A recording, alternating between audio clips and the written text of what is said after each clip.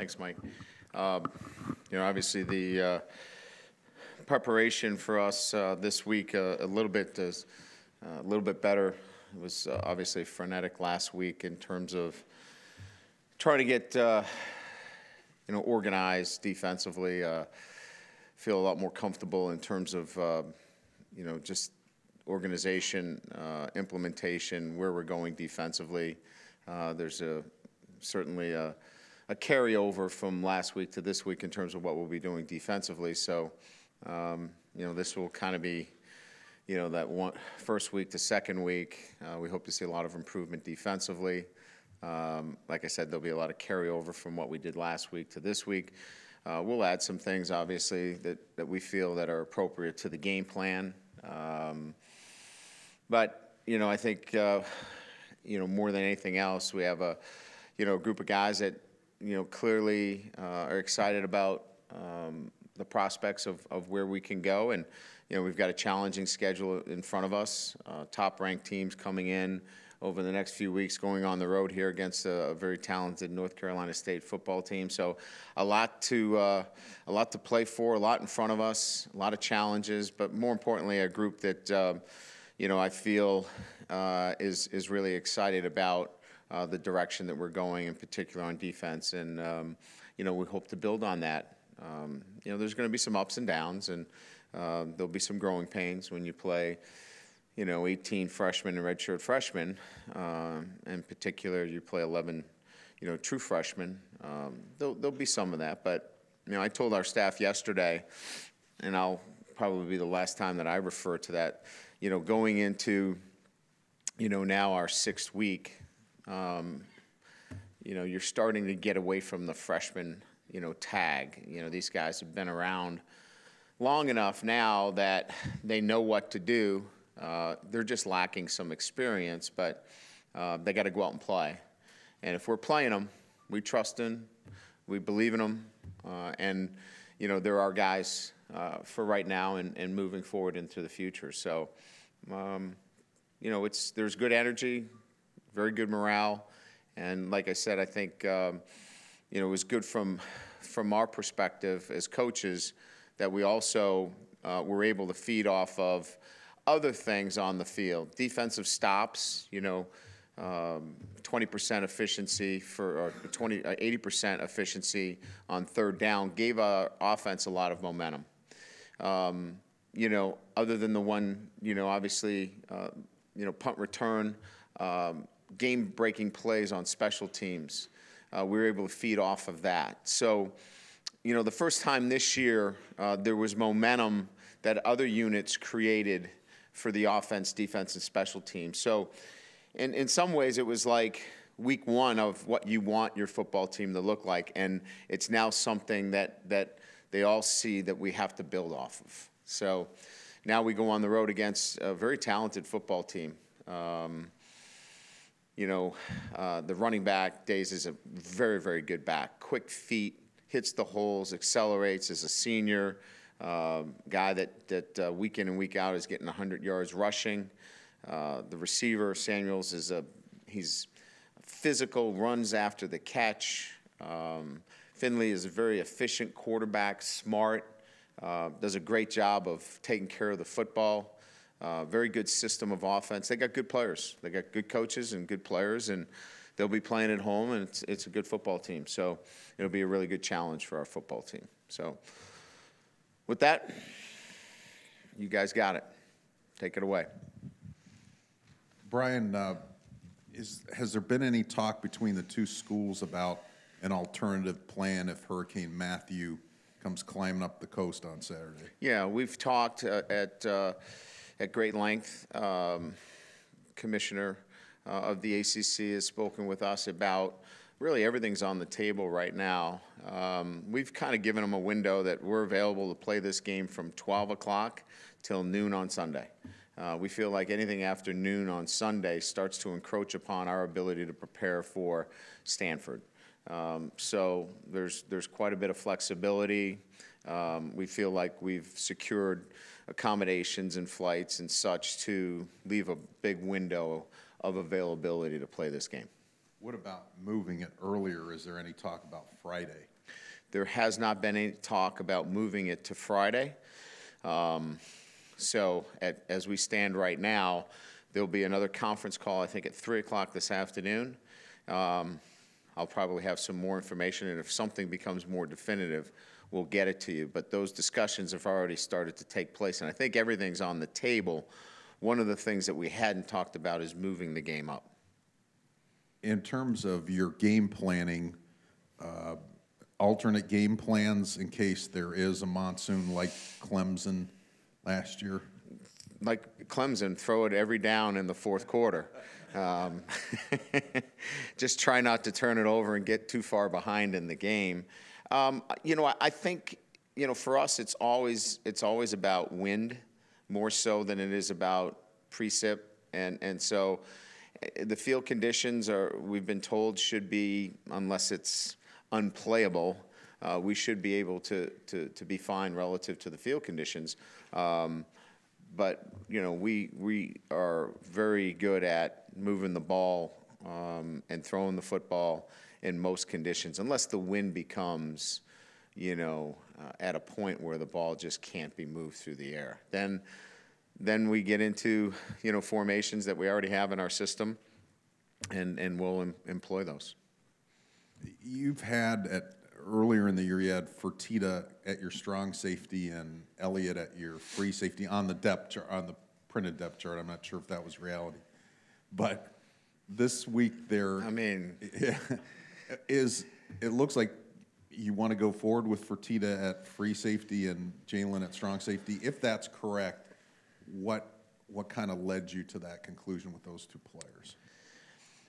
Well, you know, I think we, we look at, you know, for me, this has been an evaluation of our personnel and fitting the defense to our personnel and, and not being, um, again, this is, this, this is just putting my philosophy, defensive philosophy over the past week into the defense.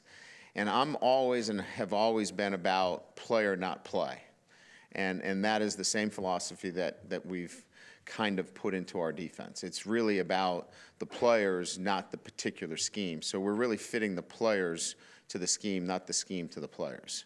So you're seeing some people move around to fit to the way um, I want our defense to look. With, with Julian Love, when did you kind of start to gain trust in him, and what has been able to increase that trust that he's become a big part of your defense now? You know, I think for most young players, uh, it's it's the the learning process uh, and retention. So you know what they can learn and what they can retain, and and I think early on it was pretty clear that um, he he was able to pick things up um, pretty easily, and then and then go back out and retain it later. Uh, and we knew his athletic ability um, was you know not going to be an issue for us.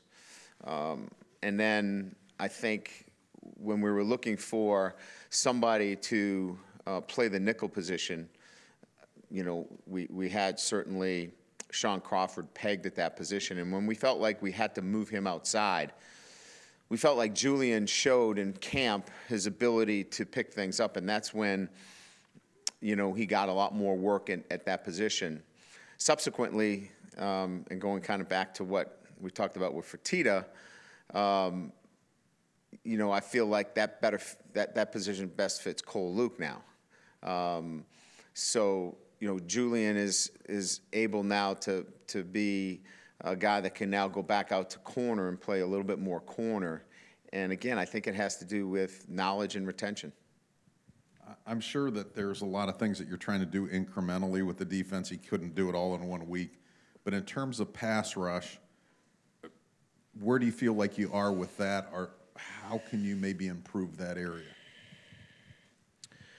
Well, there were a number of things that, um, you know, I think we're going to get a chance to work on and spend some individual time on that, that I, I think are, are going to give Keith um, the opportunity to work on some specific things. Um, you know, the game, as we all know, is, um, you know, in particular this past weekend, um, you know, it's short drops and get the ball out of hand quickly and then scramble.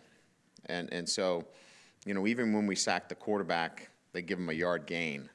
You know, poor Isaac Rochell has been looking for a sack now for all year, and then, you know, he gets a yard gain on what is a sack. So I, I want to be careful that, you know, we don't get too caught up in the fact that we're not getting sacks. I want quarterback hurries and I want pressures.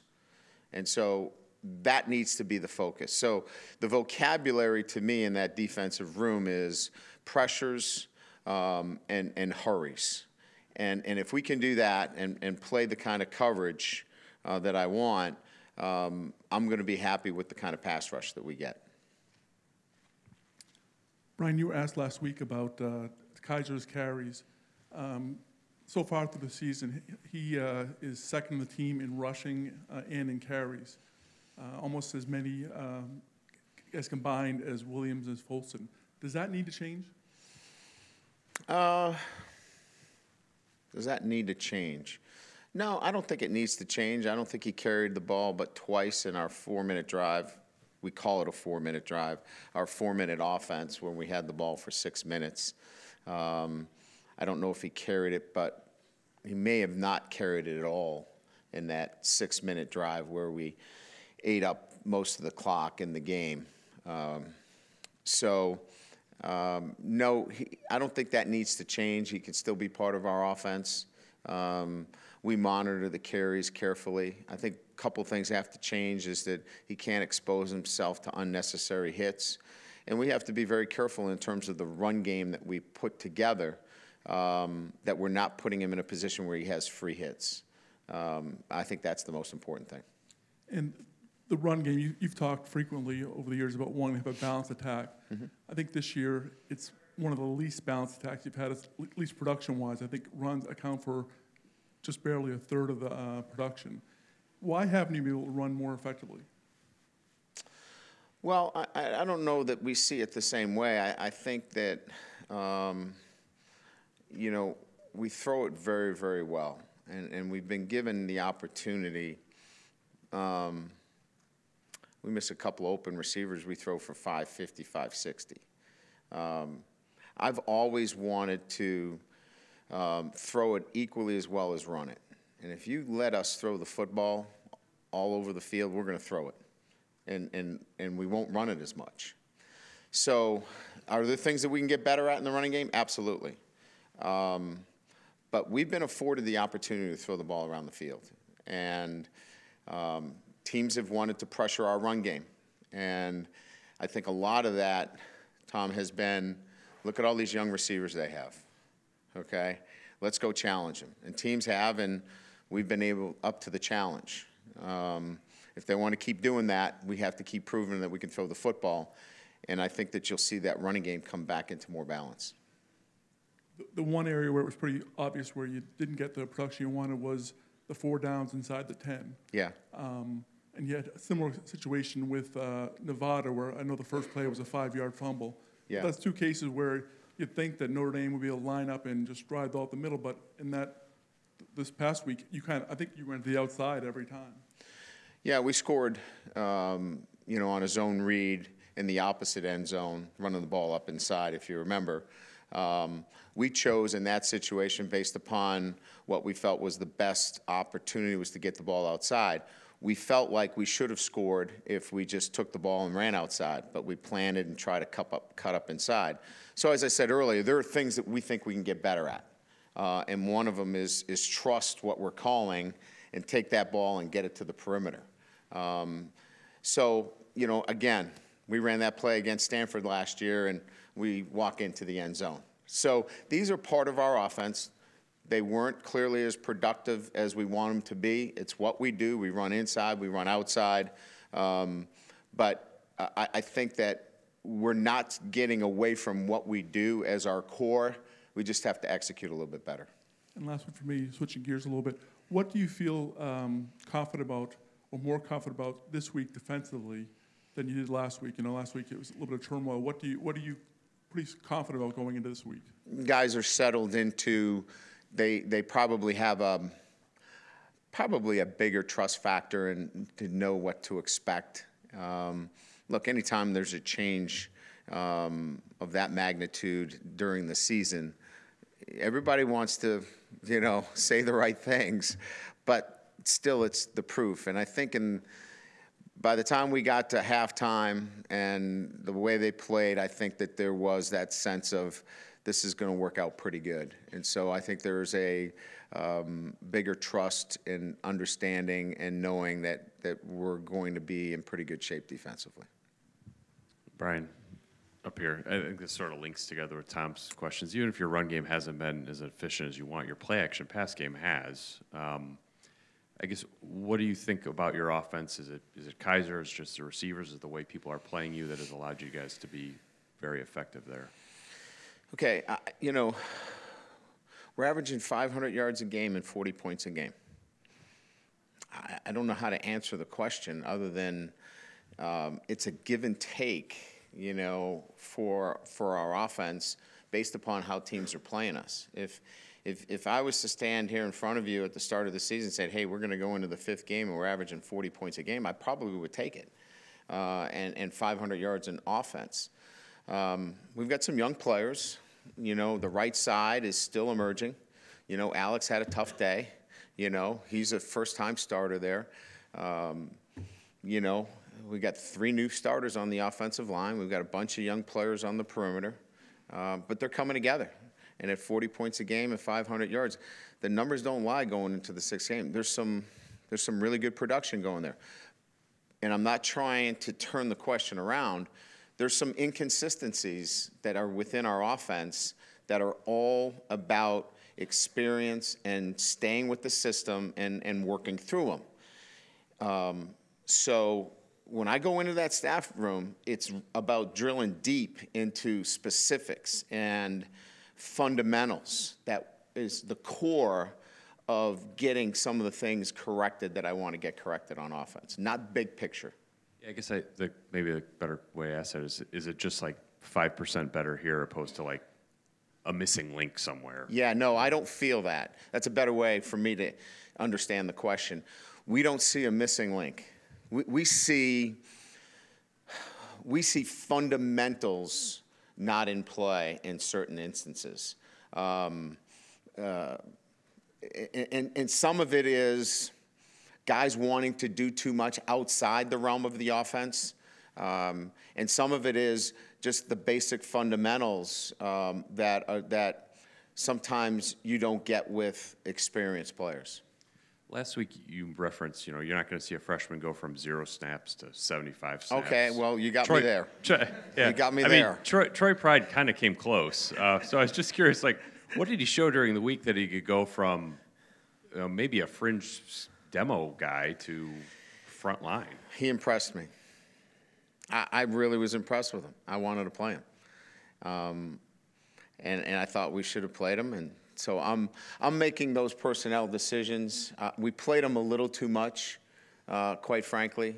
Um, we played Nicco Fertitta a little too much. He had 90 snaps. He had more snaps than anybody because he had 18 snaps on special teams. So we got to do a little bit better job of balancing those things out from a defensive perspective. Uh, of course, we lost Devin early, and, and that kind of changed it up a little bit. But we should have used Avery a little bit more uh, in that situation to save all those snaps. But I was really impressed. His makeup speed is extraordinary. Um, he's smart, and he wants to play.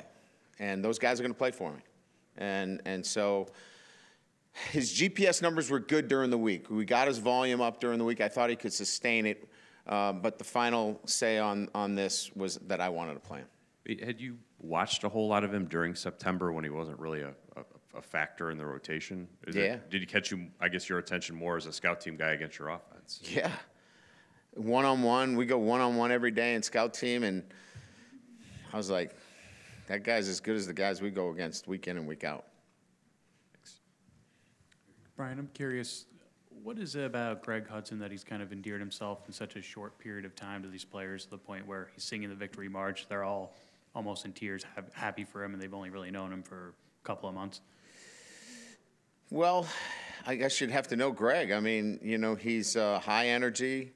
um, really good with interpersonal communication skills, um, gets to know all players, offense and defense, um, and, and just has just has that kind of you know role as well. I mean, his role right now is to be um, you know the catalyst for you know enthusiasm. He's jumping out of the cake at the birthday parties, right? He's the guy, and so he's in that role too. You know, we've we've kind of I want him to be that guy for us, and so he's really embraced that, and he's doing a great job for us. I'm curious, sort of a big picture, personal career question. When, I mean, you came up, you were played linebacker, you came up as a coach on the defensive side of the ball. When in your career did you see the narrative, so to speak, of you being an offensive coach kind of take hold? uh, I, I felt after my second year as a head coach that the, the, the head coach should be responsible for the football. Um, the game, the game, there was too many decisions that happened during the game um, that, that he needs to be responsible for it. And you become a bit detached sometimes, you know, when you're on defense. Timeouts, fourth down decisions, um, field position, you know, those kinds of decisions that happen during the game. It's, it's hard to do that if you're not responsible for the football and, and more focused on the defense than the offense. Ryan Finley's completing over 70% of his passes, Yes. hasn't turned it over yet. What's made him so effective there? Good system of offense. I, I really like what they do. Um, he's smart. Uh, doesn't doesn't go outside of what his capabilities are as well. You know, he he knows what he can do and he does it well. He's a, he's a veteran player.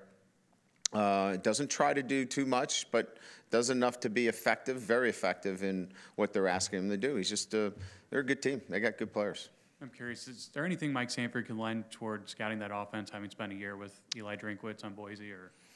You know, I've had so many coaches that know other guys and they think they know, but i i not really. I mean, uh, everybody, I mean, you get enough film at this t- part of the season that you see enough games. I mean, if it was an opener, it could be effective, maybe a little intel, but at this part of the season, you're, you're going off your film exchange. Thanks.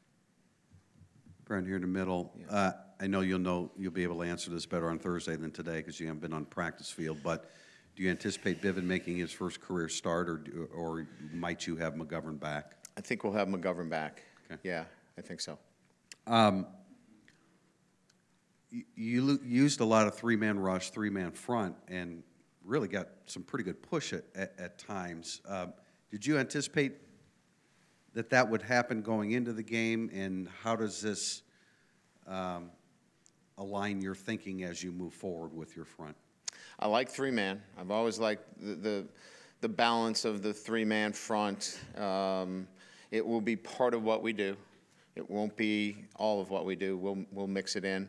Um, you know, I think when, you're talking about, in particular, um, the ability to really get some one-on-one matchups um, with those those tackles uh, with with hard inside shades, you know, we were able to push their offensive tackles back. That's not necessarily going to be the case each and every week, you know, but uh, having the ability to change up where they, those guys line up um, is is going to be more effective for us. Uh, and I think more than anything else, uh, they were single blocking uh, because we are forcing their guards to go out and protect the edges. So I think a lot of one-on-one blocks uh, allowed some of that pressure to occur.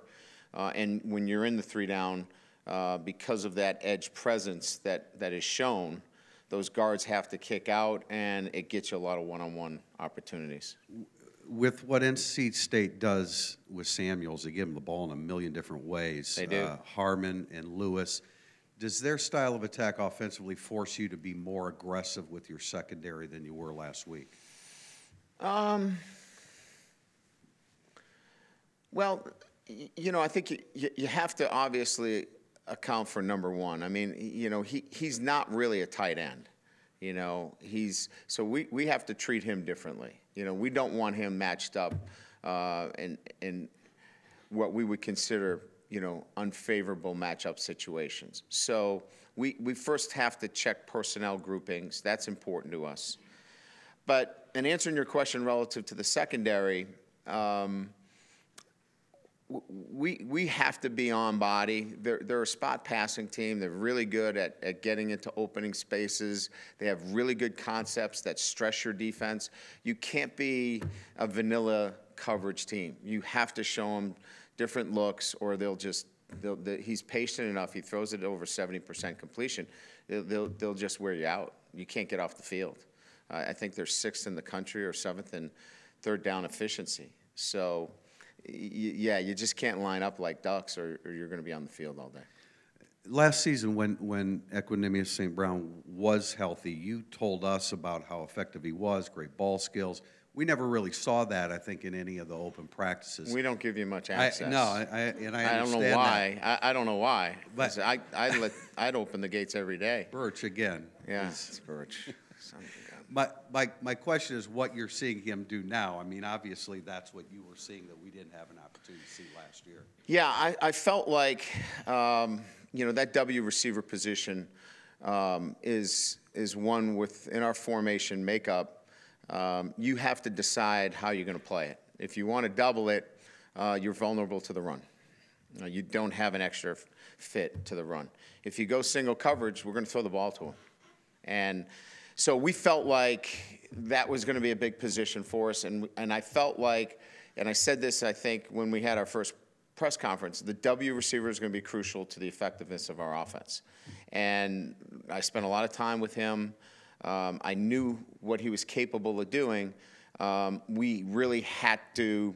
Um, in some instances, um, force feed the ball to him in camp and, and get him a lot of touches, get him a lot of action, and, and build his confidence that he was going to be a big part of what we did. He had early success, he maintained that, and I think we're starting to see that happen during the season. And as far as Greg Hudson jumping out of a cake, which is kind of a scary image, did you determine that role? Big, for- it'll be a big cake, too, by the way. I mean, that, I mean, that was, I, I know what you're saying, of Yeah. course, with that phrase. That was, I mean, he determined that. That was his personality. That's, and you, and you rolled with that? Uh, no, that's what I wanted from Greg. I got you. I hired him for certainly uh, an experienced defensive coordinator, has coordinated defense, understands uh, the role and what goes with that role. Um, but clearly, um, his personality type, what I was making a change for, was to bring in somebody that had that kind of personality. Uh, we were making a change. Uh, and so clearly, I was looking at the type of person he was and the kind of energy that he brings um, as, a, as a change and a departure from where we were. And how did that relationship develop? I mean, did he, did he approach you? How, how was the relationship developed? Well, he was here a lot in the spring. Um, uh, he was a frequent visitor to our practices. So I got to build a relationship with him uh, during spring. Um, and, and, and as it was apparent that, that he was not uh, interested in, in going back uh, in the fall and, and had an interest here, um, then that's when I hired him as an analyst. And so he, he was here um, quite a bit and was able to, you know, see him and observe his work and, and felt like he brought the right approach to the defense as, and, and he, he was the perfect, um, you know, uh, additional piece to the staff that was already in place. Did he hint at wanting to do that, or did you approach him about it? No, he, he didn't, he didn't bring up anything to me. I called him at 6:30 in the morning, told me to meet me in the office and gave him the news. Thank you. Kind of segueing off that, do you see yourself continuing right through this month and maybe even to November, taking full charge of the defense overall? Or is that something that piecemeal you might hand over to Greg? I, I wouldn't characterize my, I'm full charge of everything. I'm responsible for everything.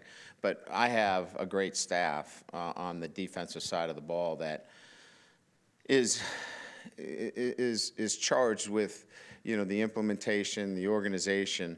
I'm there um, to, to make certain that um, the right pieces are, are put in, into the puzzle, if you will. And, and I'm overseeing the personnel um, the direction of the defense, but, uh, you know, to say I'm in charge is, you know, uh, there, there are many, many other coaches in that room that are taking a lead role. Well, I'm just saying more so in practices, you think you will be spending more of your time on that side of the field?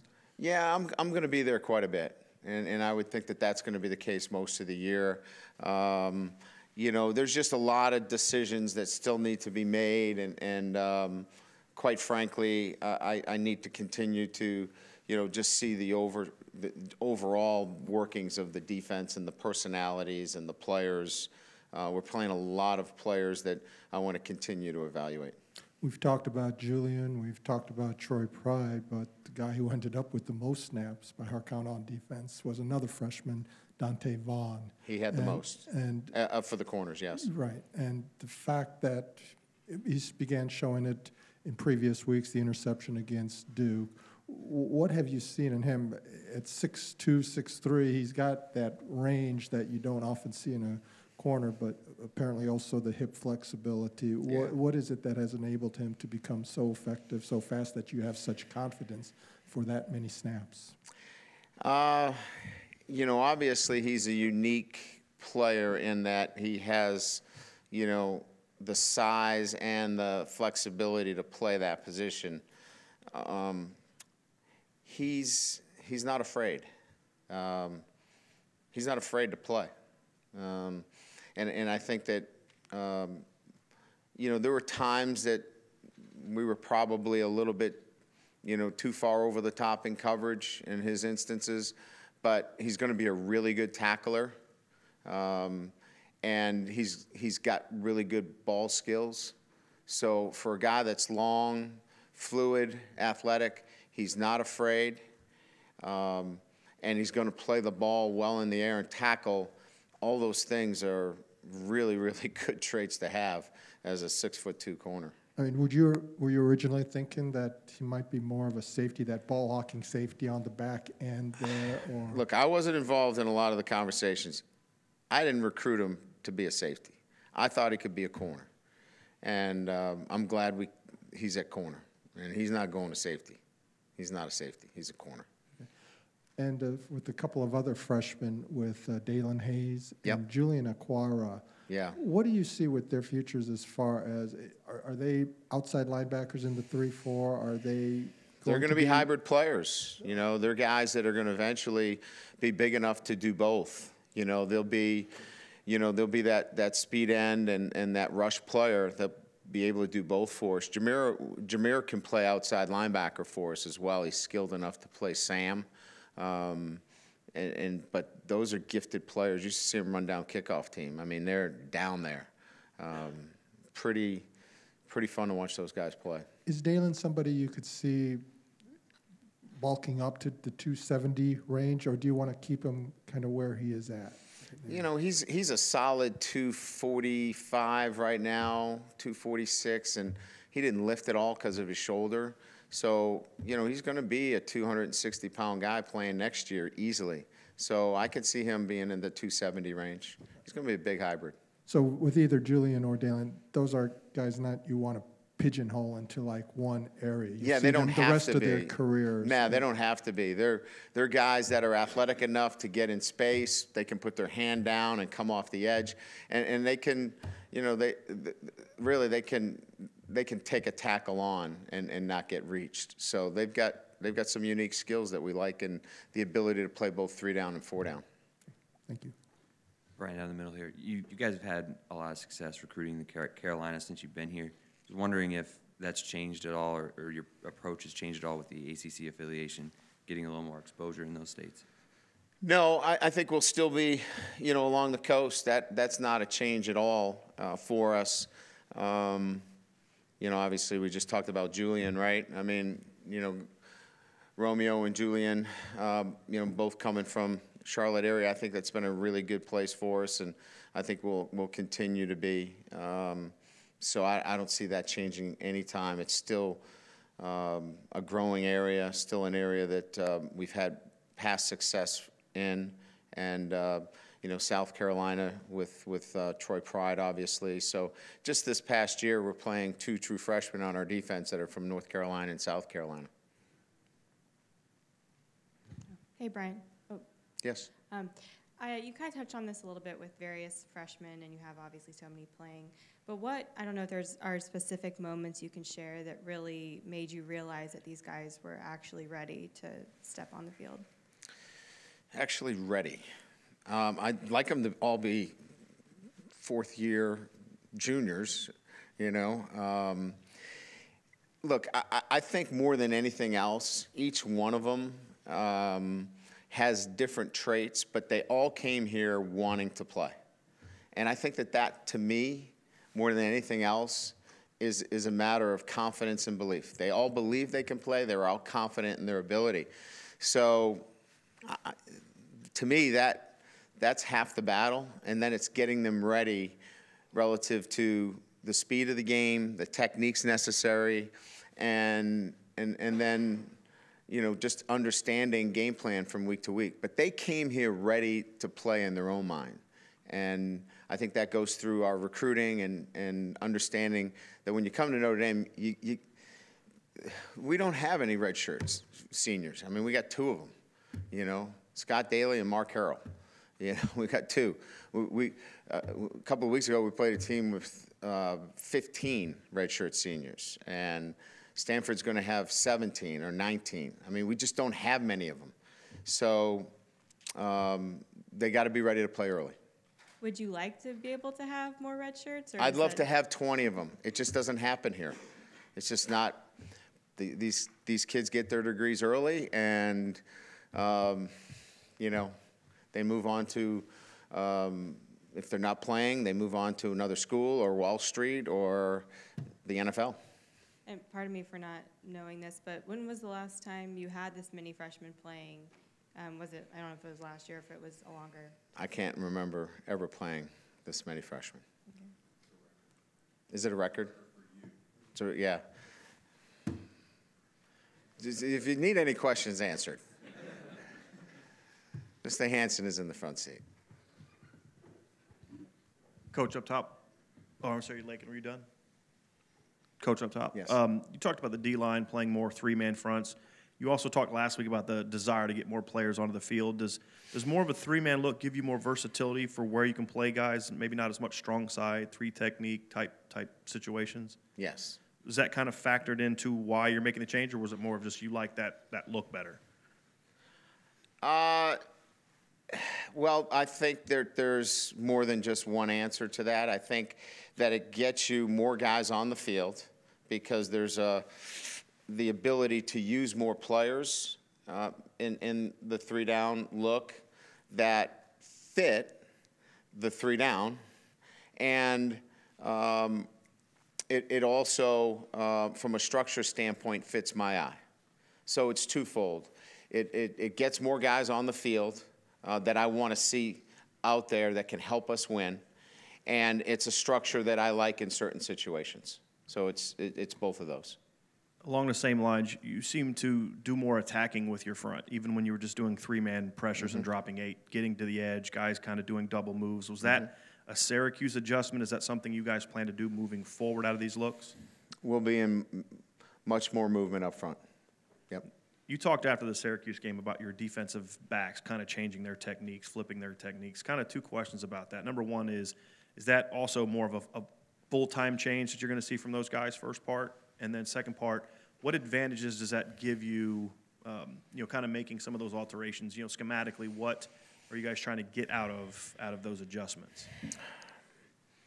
Well, it's the way I want our defense to look based upon who the personnel is.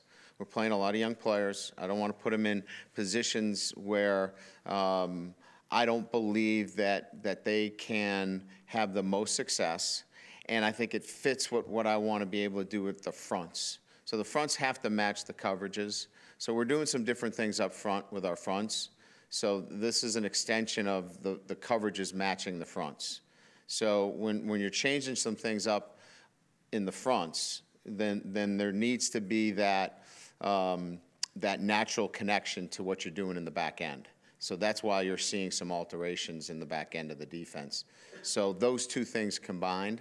Uh, and I want to get guys on the field that I think can, that, that can help us and compete. And I want to put them in what I believe their strengths are and their best, um, what, what they do best.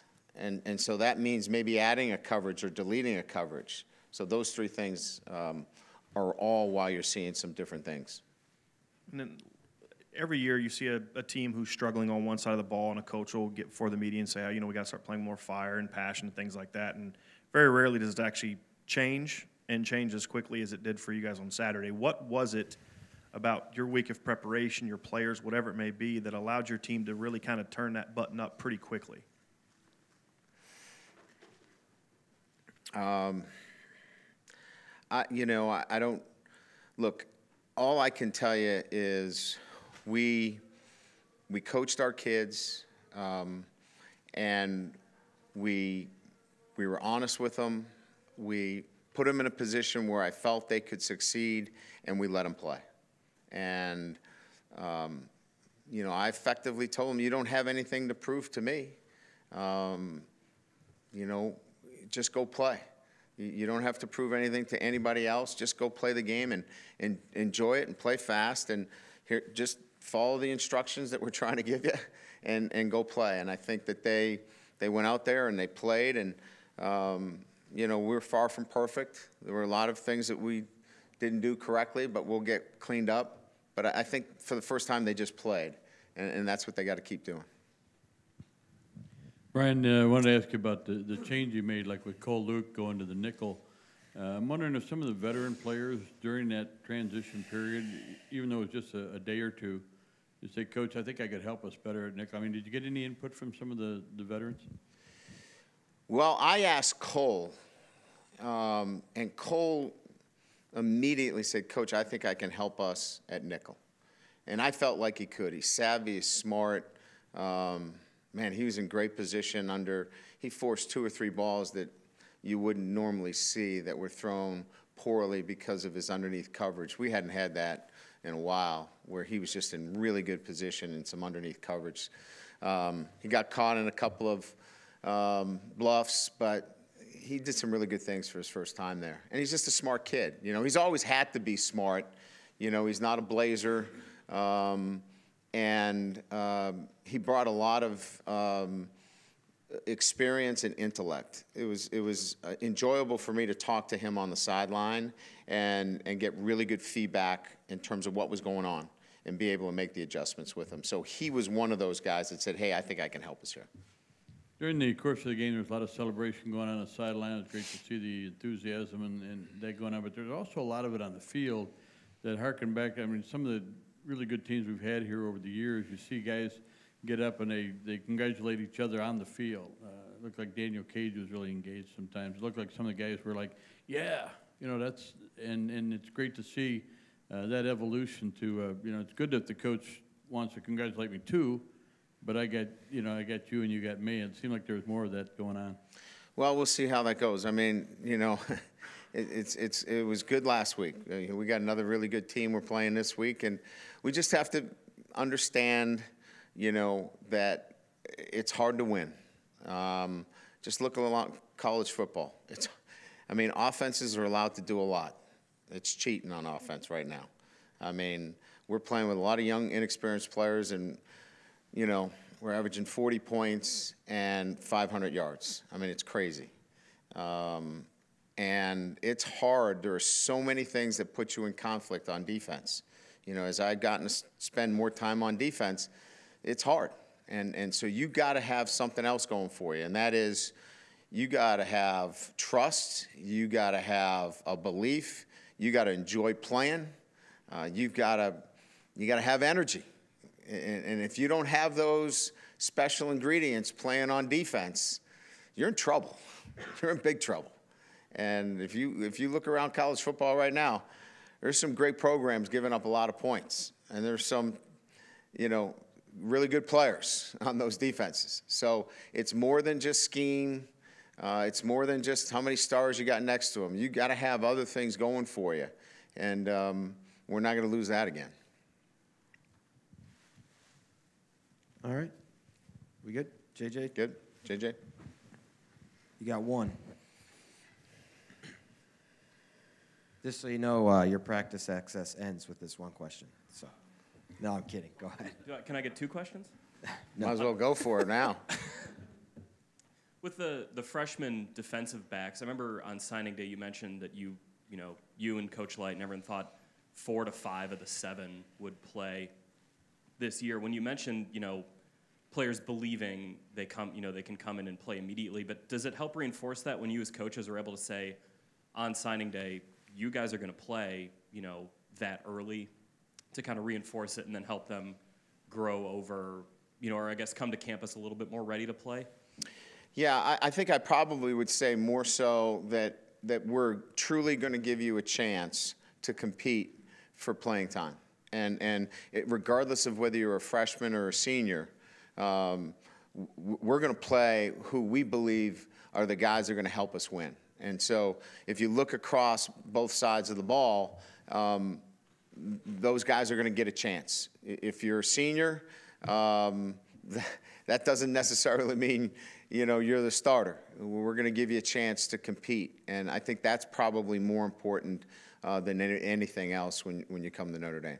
I guess like for uh, you know, it seems like every recruit expects to play, you know, their first year when they sign, but to come in knowing that the coaching staff is saying it that early, can that kind of change their mentality from from day one going forward? You know, I I can tell you that I clearly vet out with the recruit. You know, what is he thinking? You know, what's his thought process? Uh, because I don't want any misunderstandings. You know, when a young man comes here, hey, I thought I thought I was going to sit the first year, or you know, I, I, I was under the impression that I was this or that. So there's clear transparency in that because the last thing you want is somebody that comes here and, you know, I don't know, something was said in the process before I got into the closing of it and I wasn't aware of it. So there's pretty clear communication between me and the family and the prospect relative to that um, before there's a final commitment. Great. Good. Thank you, everybody. All right, only three hours. That was pretty good.